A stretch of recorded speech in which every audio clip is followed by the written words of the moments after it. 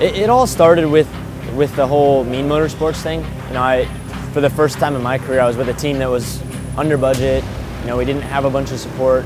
My whole career took a turn with that. You know, it made me go from being the spoiled kid with the, the nicest of everything to the kid that still had good equipment, but I had to fight a lot harder for, for the results. Going to Europe and getting knocked down was something that I needed. You know, going back to a privateer team in MotoAmerica was something I needed. I think I needed to kind of get my ass kicked for a couple years and, you know, to have that never quit attitude on a bike that's not the best. And then when you get it, you make the best of it and, and then it shines. Like the Talladega Nights, if you're not first or last, like that, that's what it is in this sport. You know, everybody remembers you for your last race. So even if I got a championship on the line, I try to win.